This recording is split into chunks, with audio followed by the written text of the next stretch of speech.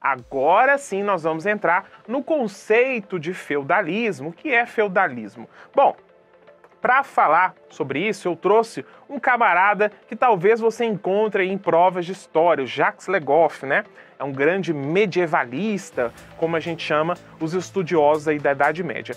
Olha só como é que ele define a Idade Média.